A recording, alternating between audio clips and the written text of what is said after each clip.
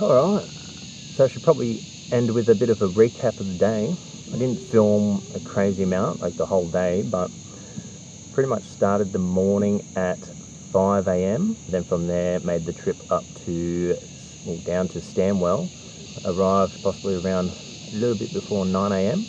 and almost cancelled the cancelled the trip. The whole week, it was pretty much saying that it was supposed to be today, Sunday. It was supposed to be um, around 18 knots. And then when I woke up this morning, um, it was saying that it's going to max out possibly around like 10 knots all day, no stronger than 10 knots. Yeah, I thought, yeah, possibly still be able to get out for a for a fly. I'm glad that I ended up uh, making the trip because in the end it was flew for about roughly four hours, two two separate flights. So flew for uh, two hours in the uh, XT.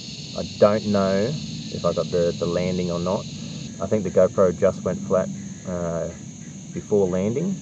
The second flight, um, I didn't record anything. The first flight was better. Now just here, uh, halfway between home and um, Stanwell, uh, camping. Break up the trip. You know, it's only three hours, but I've wanted to go for a camp for a while now. It's been a massive day. About to cook up the feed.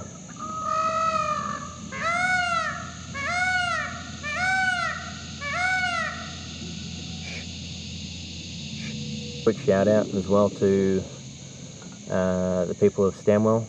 The hang glider pilots have uh, they were giving me a, a lift twice, which was good. Very handy when it's a, a massive hike back up to the top. So thank you for that. And yeah, let's call it a day.